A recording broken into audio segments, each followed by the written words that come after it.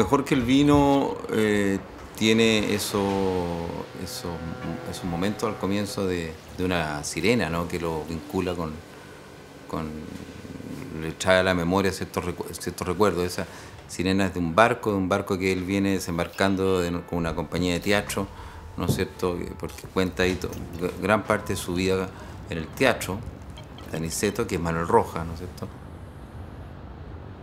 hace incluso una revisión de la historia social, eh, política a través del mundo, e incluso él se inserta en esa historia, pero deja, deja eso ahí y sigue con la historia eh, que relata mejor que el vino, que fundamentalmente esta vida del teatro, de cómo su, primer eh, acercamiento a la mujer, su enamoramiento, primero, bueno, un amor carnal, eh, su, primera mujer propiamente tal, que es esta Virginia, con la cual él se queda viviendo en Buenos Aires, se esconde con ella ya, ¿no es cierto?, etcétera, y después, obviamente, cuando se casa con María Luisa, que es María Baeza, ¿no es cierto?, eh, que es la madre de sus hijos, y la muerte de, María Baeza, digamos, que genera en él un dolor eh, muy fuerte y, y, genera una volver a estar solo de alguna manera, a pesar de tener tres, tres hijos. Es una necesidad como el comer, comer y amar. El hombre, el ser humano, podrá renunciar a todo, a todo menos a comer y amar. Desaparecería, moriría. Comed y amaos.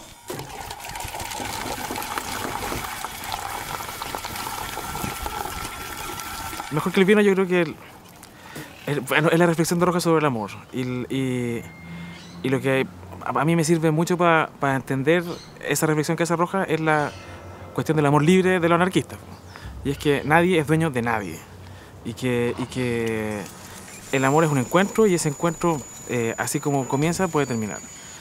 Y así como termina, puede comenzar de nuevo. La palabra es, es propiedad. La palabra que los anarquistas odiaban era la propiedad. Y el matrimonio, por supuesto, es una forma de propiedad del hombre hacia la mujer. En el amor libre nadie se posee con nadie y por tanto estamos juntos mientras funcione lo que tenemos. Cuando esto ya no funciona, como yo no soy tu dueño, ni tú eres mi dueña, todos tenemos la libertad de irnos. Eso no quiere decir que no haya desgarro y que no haya dolor. Solo que el derecho de la libertad está puesto por encima de ese desgarro y ese dolor.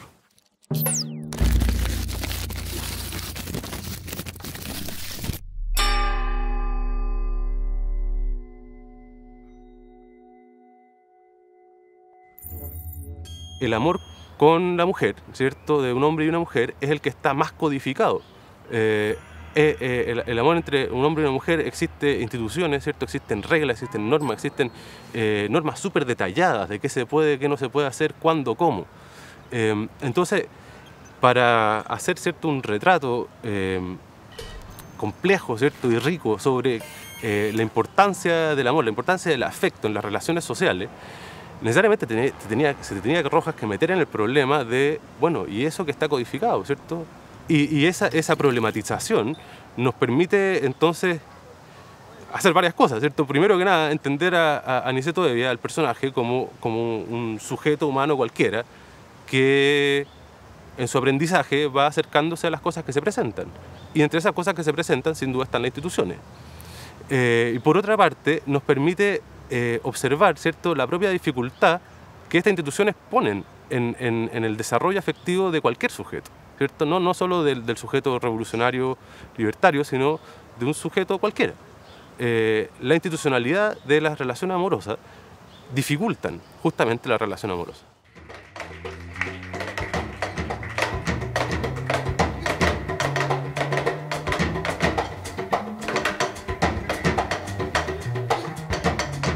Desde las últimas décadas del siglo XIX, Chile exhibía las más altas, las tasas de mortalidad eh, más altas del mundo. por lo menos del mundo occidental, solo comparables a las que existían en algunas eh, colonias eh, del África Negra o de la India británica. Y esto porque las condiciones de vida de los sectores populares, particularmente de los sectores populares urbanos, eran terribles.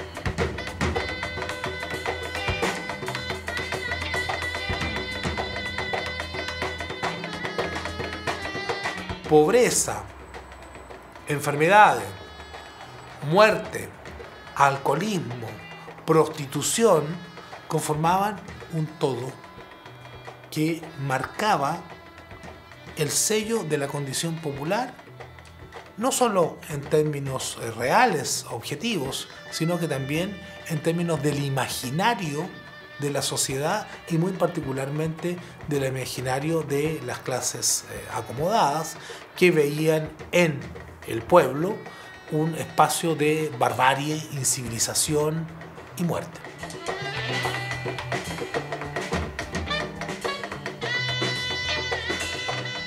Aniceto no juzga la prostitución desde los cánones morales establecidos, sino como desde los cánones morales del bajo pueblo y con ellos desde el anarquismo. No sé, desde Lancha en la Bahía hasta estas novelas, eh, la prostitución o las prostitutas es, una... Claro, es un oficio más dentro de los oficios del sistema capitalista. De hecho, solo se entiende en este sistema la existencia de la prostitución. Y conectándolo con el anarquismo, el anarquismo una y otra vez insiste que, que, claro, eh, que esto no debe existir y de hecho se usa generalmente la prostitución como una figura paradigmática de lo no redimido y por redimir. Él no lo lee en clave ideológica todo el rato, él no está leyendo en clave ideológica, él está leyendo en código de niño, insisto con la idea del niño. Eh, y, ese niño se ve forzado a, entrar como al contacto con las mujeres. De hecho, muestran a un niño tímido frente a las mujeres, a un niño que no responde al canon del hombre de aquella época que llegaba y poseía a una mujer. Aniceto no es ese hombre. En ese sentido, Aniceto es un poco hombre. Es, un, un niño que en ese contexto se ve como forzado por las circunstancias a, vivir esa experiencia.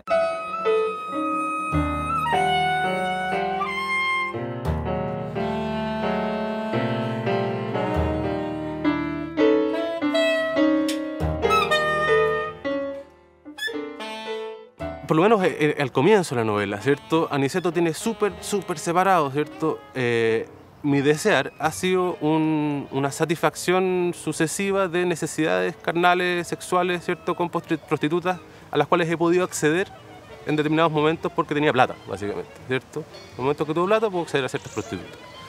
Eh, como un desear meramente carnal y de satisfacción de una necesidad, ¿cierto? En el sentido más, más básico. Eh, y la novela parte, ¿cierto? Con la diferencia tajante. Es decir, ok, yo conocía eso, pero nunca me había pasado esto de eh, eh, el enamoramiento, ¿cierto? De mirar, besar y que el beso de vuelta fuera, ¿cierto? Cuando la, descripción de ese primer beso con eh, Virginia y, que de hecho no, no tienen sexo, sino que se besan nomás, ¿cierto? es una descripción muy larga y, notable respecto de que esto era otra cosa, ¿cierto? De que la carne se había transmutado en algo, eh, porque ya no era solo instrumental, había otra cosa, una relación afectiva, emocional, ¿cierto?, involucrada, que está resignificando toda esa relación carnal.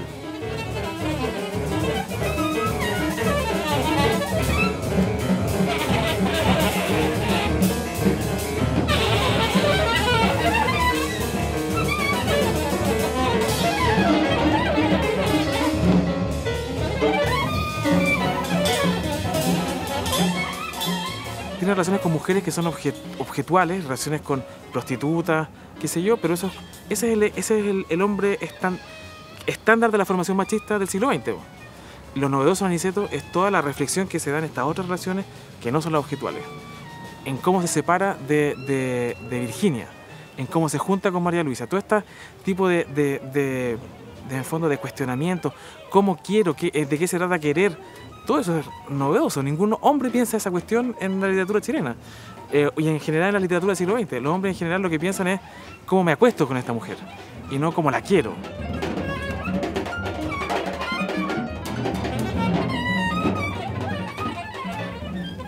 ¿Por qué te entregas a la tristeza? No ha amanecido aún el día de la canción ardiente y la noche en que ésta tendrá, como todas las noches, un amanecer. Enciende tu fuego, muchacha, y espera el día, mientras el viento marcha sobre el pasto con sus pantuflas peludas.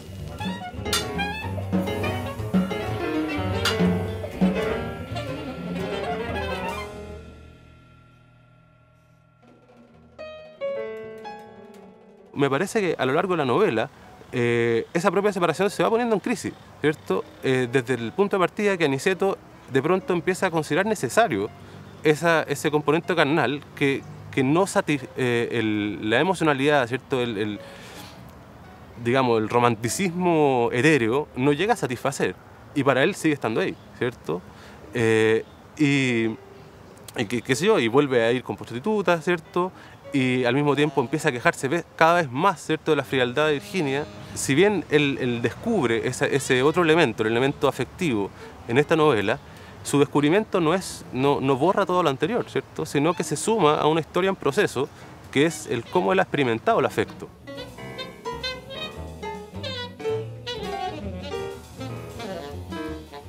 Tener casa, tener comida, tener sexo, tener trabajo, no basta y como tú decías antes, si Aniceto se mueve siempre, es mejor que el vino deja a Virginia justamente porque se da cuenta que no le basta. Ahí no hay una crisis, sino simplemente un, como un, hastío, digamos. E igual es una prueba súper importante porque es con el momento en que Aniceto uno piensa se burguesó este compadre.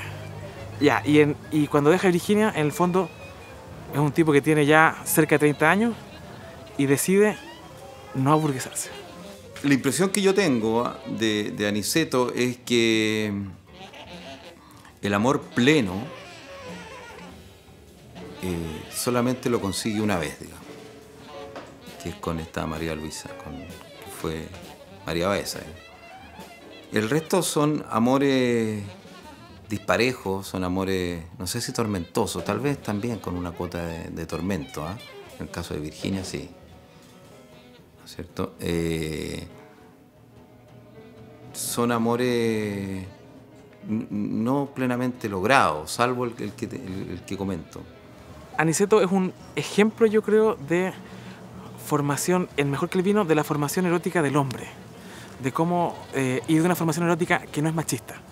Eh, a los hombres se nos suele enseñar que eh, hay que tomar el sexo donde aparezca.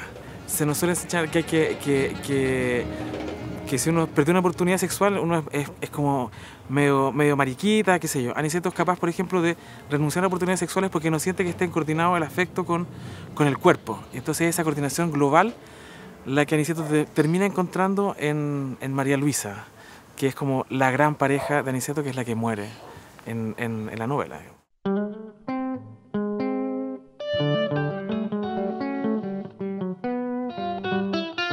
Su mujer estaba recién muerta. Él estaba aún muy triste y ni en su mente ni en sus manos podía haber nada para ninguna mujer. Se sentía deshecho y quien está deshecho es incapaz de hacer nada.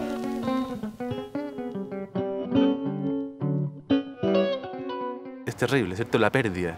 Eh, en, la novela eh, es, desgarrador el capítulo que cuando parte dice, y yo eh, estaba escuchando Em, una canción en alemán, ¿cierto? No me acuerdo cuál era la frase, pero repite la frase, dice, yo no entendía qué significa esto, nunca voy a saber qué significa esto, pero me desgarra, ¿cierto? Y llora, y llora, y llora, y, no puede nada más que eso, porque se siente vaciado en el dolor.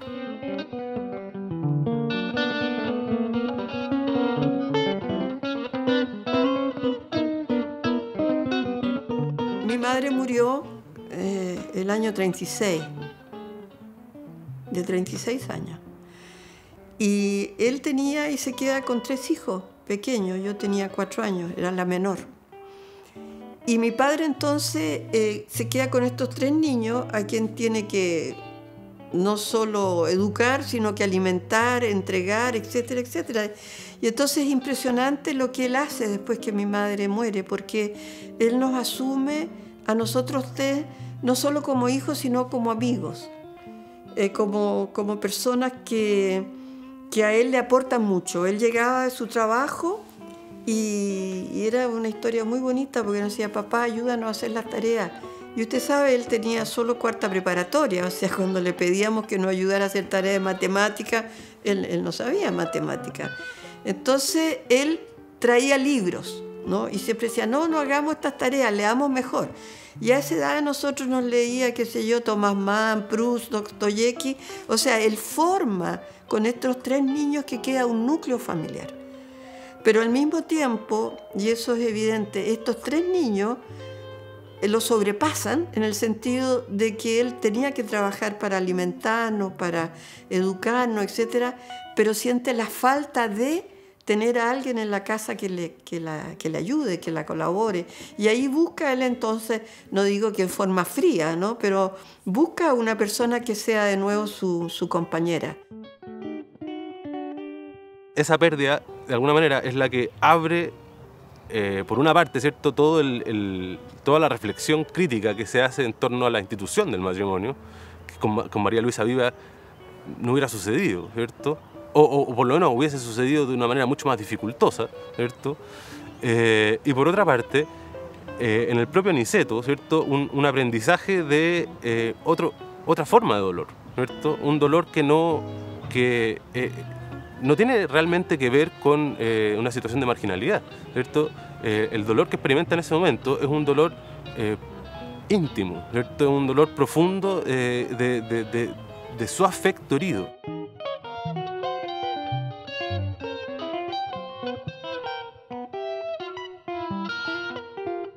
Aniceto Evia, al igual que Manuel Rojas, a los 42 años, no es el mismo personaje que a los 16 años cuando llega acompañado de un par de anarquistas desde Mendoza atravesando la cordillera.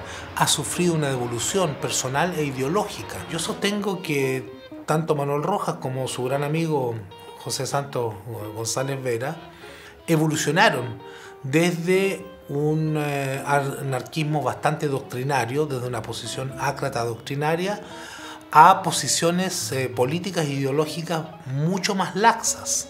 Yo diría que eh, a esa edad, han pasado un par de décadas prácticamente desde que Rojas, Evia, se convirtió en anarquista, Manuel Rojas en realidad había dejado de ser anarquista.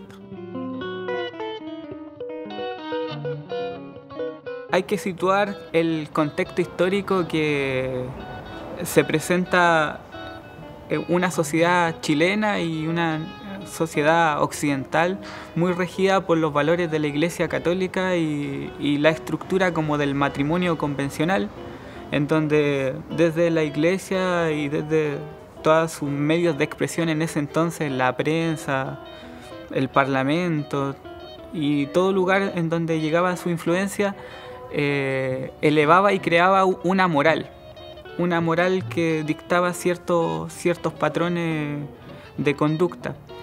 Pero vino las corrientes socialistas revolucionarias y entre ellas el anarquismo a poner en duda todo ese universo de, de valores que según ellos en ese contexto lo entendieron como una alianza entre los valores de la burguesía y los valores como de, de la iglesia. Vieron a un solo conjunto opresor como de, de la clase trabajadora. en este proceso ¿cierto? de aprendizaje y de relación con esa, con esa institucionalidad, me parece que la propia institucionalidad sale sale súper perjudicada, ¿cierto? Porque cada vez que Aniceto hace un avance para ahí, eh, ese avance y ese, ese, ese como abrazo a la institución va acompañado de reflexiones que ponen tremendamente en crisis y que te exhiben, ¿cierto?, cómo las instituciones funcionan para cooptar tu libertad, ¿cierto? Entonces, cuando él va al banco, inmediatamente después se manda una reflexión que dice eh, el tema de los bancos, ¿cierto?, eh, al final es una controlación del capital. Eh, no lo dice con esas palabras, ¿cierto?, pero finalmente cuando se empieza, empieza su reflexión sobre por qué los ricos se sienten seguros o inseguros con tanta plata, sale de ahí, ¿cierto?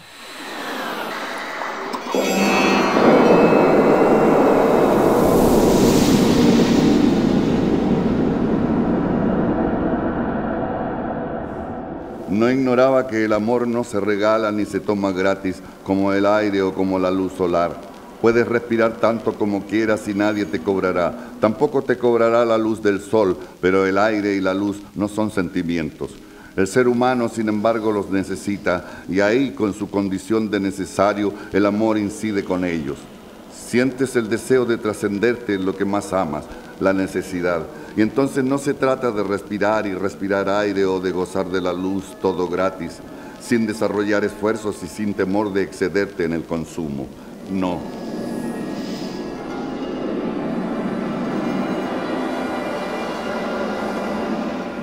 no, no me quiero casar contigo. Y él le dice, ¿sabes qué? Dame la explicación. Estamos, terminamos, esto se acabó, yo me quiero casar, se, se, se acabó, pero quédate un poquito y explícame por qué no. Y lo que ella le dice es profundamente iluminador, porque le dice, no me quiero casar porque casarse es otra cosa. Casarse no tiene nada que ver con el afecto, casarse no tiene nada que ver con nuestra relación amorosa.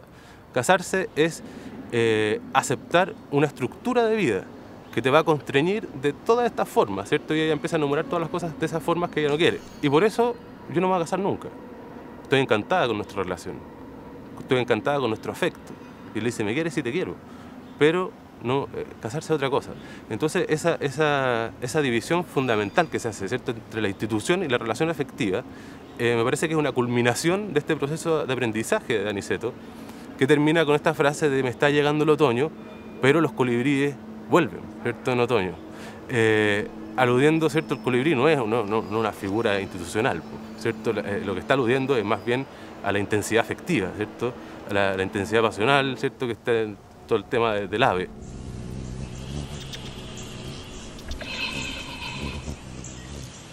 Estoy como empecé, sin nada, y el otoño está en mí, pero los picaflores suelen volver en otoño.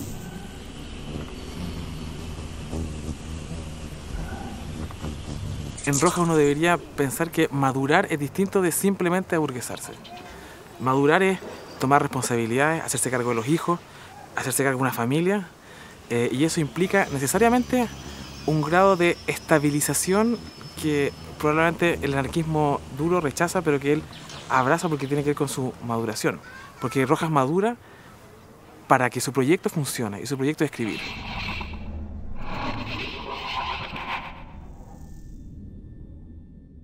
siempre su vida fue inquieta. Eh, inquieta por, por el, el, traslado físico, digamos, ¿no es cierto? el desplazamiento físico entre un lugar y otro, pero también eh, por la diversidad de, de, actividades, de inquietudes que tuvo, tuvo en su vida. Manuel Rojas, claro, uno lo conoce por su trayectoria literaria, pero además él fue una persona muy inquieta en conocer, en hacer cosas siempre haciendo algo, eh, quiso saber de astronomía, fue una, persona eh, muy, muy, muy, muy, muy inquieta. Aniceto es trashumante, Aniceto se mueve, Aniceto circula por todos lados, pero el Aniceto que escribe, el Aniceto que, que es roja escribiendo, es sedentario, está en su casa, no se mueve. Para escribir uno no se mueve. Y Aniceto está todo el rato moviéndose y Roja escribe desde el año 50 hasta 70, son 20 años de escritura constante y, donde Roja no se mueve. Es como si Aniceto se, se, después de haber dado montones de vueltas, veleta loca decía Carolina Mistral, eh, se fija y se fija para escribir todo ese tiempo que estuvo moviéndose.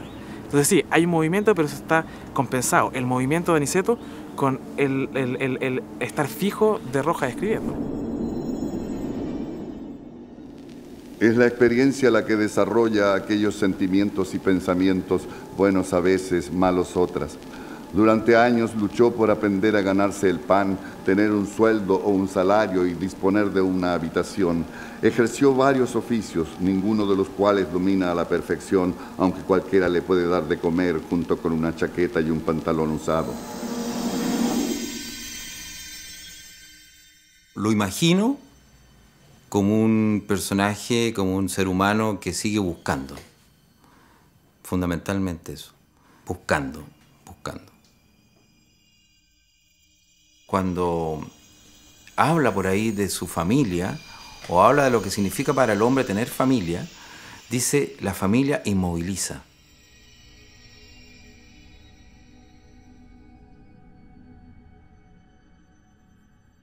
Tenía una casa, tenía mujer, hijos, trabajaba con agrado y cuando quería sentir la soledad, el silencio y el espacio de los nómadas iba a la cordillera que estaba allí, cercana y esperando los solitarios senderos, silenciosos bosques, amplios y profundos espacios, lejanía.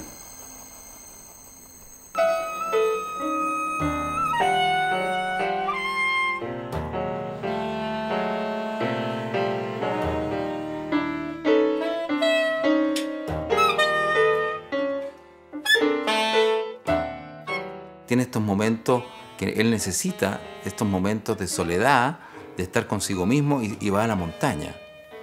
¿no es cierto? Eh, va a la montaña a encontrarse, a, reflexionar o, a estar solamente, ¿ah? solo.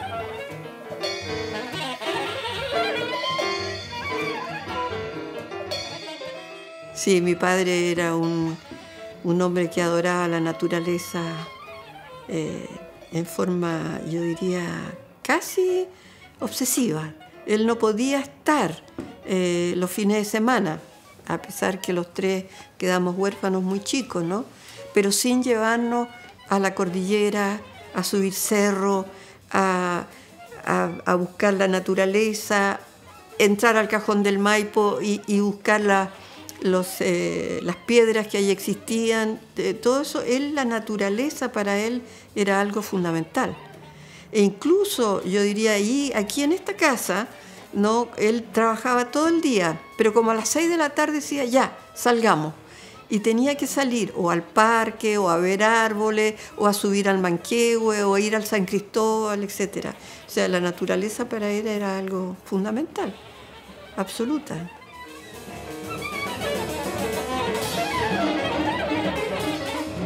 Pues puede uno conocer la boca en meses o años de enamoramiento, su lengua, sus dientes, su temperatura, su grado de humedad, su sabor, sus caricias mejores que el vino, y no conocer aquello y en ocasiones no llegar a conocerlo, ya que no todo enamoramiento conduce a ello, así como a veces se conoce sin necesidad de enamoramiento.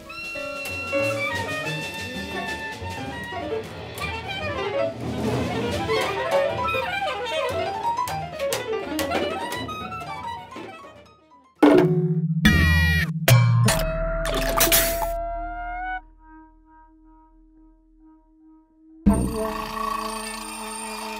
you.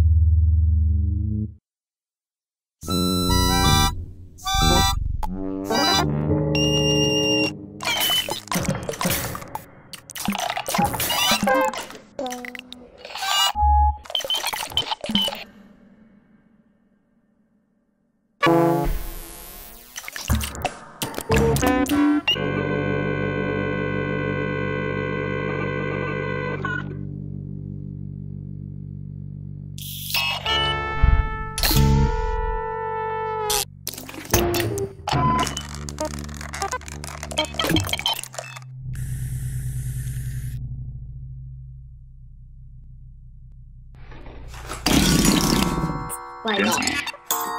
嗯